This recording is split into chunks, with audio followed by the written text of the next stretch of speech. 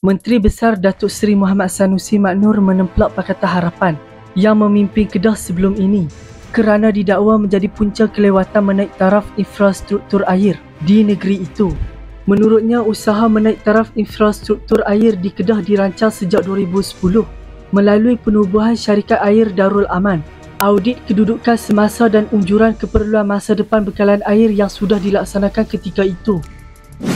Sejak 2013 katanya, kerajaan negeri ketika itu sudah mengenal pasti dan memuktamadkan langkah yang wajib iaitu mengatasi masalah air tidak terhasil selain penggantian paip utama dan keperluan loji rawatan air baharu.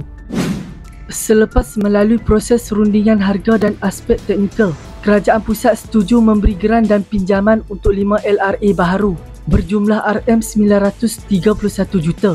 Iklan tender pembinaan pun dikeluarkan dan kebetulan pilihan raya umum ke-14 berlaku di mana PH mendapat kuasa atas dasar sanksi dan kurang percaya terhadap kerajaan sebelum PRU 14. PH menarik semula iklan tender. Mereka melantik konsultan baharu untuk mengkaji langkah bagi mengatasi masalah air dan kos yang wajar.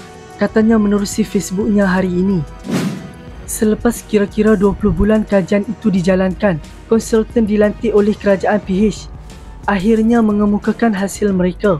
Dapatan itu sama dengan keputusan sebelum ini, iaitu 5 LRA tersebut perlu dibangunkan dengan kos sama, iaitu RM931 juta. Iklan tender pun dikeluarkan semula, sama dengan yang lama. Akibatnya projek tersebut tertangguh 20 bulan dan kos baharu perlu ditambah kerana perlu membayar yuran konsultasi bernilai ratusan ribu ringgit katanya. Secara sinis beliau berkata, itulah jasa-jasa PH terhadap isu air Kedah selain meninggalkan sada beroperasi dalam kerugian mencecah RM36 juta pada 2019